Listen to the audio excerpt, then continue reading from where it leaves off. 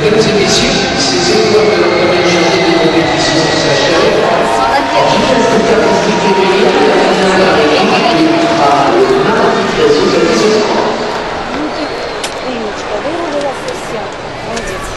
Still to come the 2008 Olympic Games Artistic Gymnastics Program. The men's team final on August 12th at 10 a.m. The women's team final August 13th at 10 a.m The men's individual all-round final August 14th at 11 a.m. Women's individual all-round final August 15th at 11.15 a.m. Women's individual qualifications and the men's individual qualifications on August 16th starting at 11 a.m. Starting on August 17th, the men's and women's apparatus finals and trampoline finals. 女士们、先生们，男子团体决赛